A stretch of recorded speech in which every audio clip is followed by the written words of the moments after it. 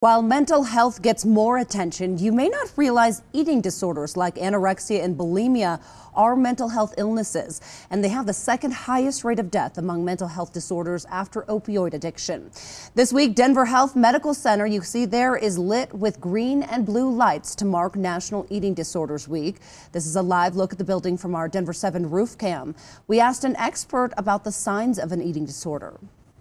If your loved one is constantly comparing themselves to other people's appearance, body shape, uh, particularly if that results in negative comments about their own body or appearance.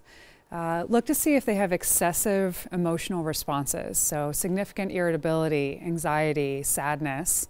Uh, look to see if they're really focused on fad diets. So other signs are eating in isolation, excessive exercising, and wearing baggier clothes so friends can't see the weight loss. Experts say the illness is treatable, and the sooner someone gets help, the better.